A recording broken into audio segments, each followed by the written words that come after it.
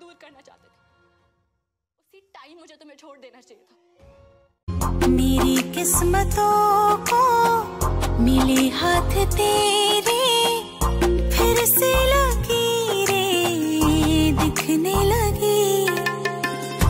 देखा तुम्हें तो ऐसा लगा है जैसे ये आँखें धड़कने लगी।